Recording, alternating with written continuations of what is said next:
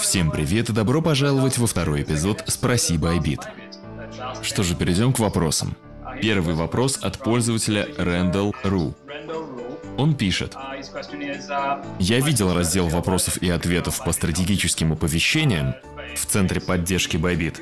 Но у меня остались вопросы. Будет ли инструкция по тому, как они работают? Да, конечно, очень хороший вопрос. Стратегическое оповещение в нашем мобильном приложении – это наша новейшая функция на мобильных iOS и Android, чтобы у покупателей был доступ к более продвинутой стратегии. Когда нужный вам настроенный индикатор или параметр обмена срабатывает, мы отправляем вам уведомление. Разумеется, в дальнейшем мы более подробно объясним, как им пользоваться. Этому будет посвящено больше статей. А также я начну новое, ну что-то вроде шоу, где я в качестве ведущего буду задавать вопросы нашему продукт-менеджеру Биллу. Называться оно будет Bybit Product Chat, поэтому следите за обновлениями. Второй вопрос прислал нам Льюис Тиран. Он спрашивает, планируется ли на Bybit ввести SAP-аккаунты?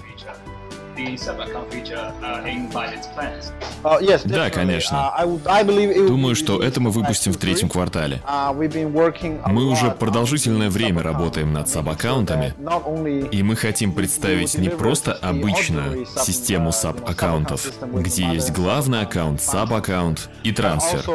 Мы бы хотели, чтобы у саб-аккаунтов был свой паспорт, возможность распределения средств и даже система с мультитерминалами. Поэтому следите за обновлениями, в третьем квартале мы это выпустим. Замечательно. Теперь третий вопрос. От пользователя Эйла С на Ютубе. Она говорит спасибо, что вы отвечаете на вопросы сообщества. И пишет, что у нее есть проблемы с внесением изменений в ордер по сути, со всеми изменениями, когда биржа нагружена. Планируется ли решить это в будущем? Или так задумано, что всю сделку ты настраиваешь заранее?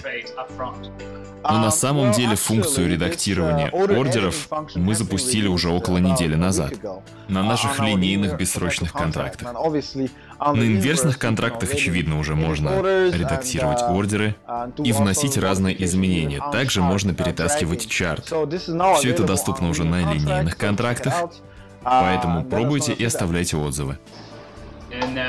Следующий вопрос от пользователя Бионотом.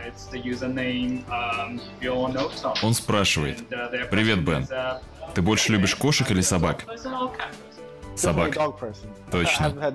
У меня было две собаки, так что я выбираю собак. Как их звали? Кстати, одного звали Дэнни. Дэнни и Джои. Следующий вопрос от пользователя Мэл Смок. Он пишет, как мне поменять местами позиции на бессрочном контракте USDT? На графике для этого есть удобная кнопка. Когда вы открыли позицию, на графике TradingView у вас появляется полоска. И там в самом верху есть небольшая закругленная стрелка. Жмете на нее, и длинная позиция становится короткой, а короткая длинной. Посмотрите. Здорово. Следующий вопрос от C Drama Lover. Привет, Байбит, мне нравится ваш интерфейс. Но какие-то вещи я не понимаю. Планируете ли вы в дальнейшем выпустить какой-нибудь учебный материал? Да, конечно.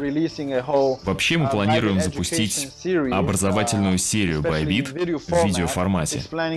Там мы объясним, как пользоваться платформой, как размещать ордер, как редактировать, как эффективно пользоваться стоп-приказом, приказом фиксации прибыли, а также расскажем про нашу новейшую функцию «Общий фонд», поэтому следите за обновлениями. Хорошо. Следующий вопрос нам задавали многие пользователи. Пользователь Иготит спрашивает на Ютубе. Вопрос следующий. Когда мы добавим больше валют и активов на бессрочных контрактах USDT, будет ли Ethereum USDT, XRP USDT, EOS USDT и так далее. Сейчас мы рассматриваем третий квартал. Поскольку линейные контракты все еще находятся в стадии беты, мы уже давно проводим тестирование и привели линейные контракты почти что в такое же состояние, как и инверсные. Но каких-то функций там все еще нет, например, калькулятора, и так далее. Но когда мы с этим закончим, наверняка мы добавим еще несколько пар. Сейчас мы, само собой, рассматриваем эфириум, наверняка биткоин кэш, лайткоин. Многие просят добавить Chainlink. Это мы, скорее всего, добавим в третьем квартале. Здорово. И, наконец, последний вопрос от пользователя YesAnRabbit 2. Дорогой Bybit, Будет ли возможно сохранять функции графика цен и индикаторы? Да, это еще одна функция, которая у нас была в инверсных контрактах, но в линейных пока нет. Скорее всего, мы ее запустим через 2-3 недели. Она уже в процессе, мы над ней трудимся, поэтому следите за обновлениями. Спасибо большое, Бен, и спасибо вам большое за просмотр. Вы смотрели «Спроси Байбит». Спасибо.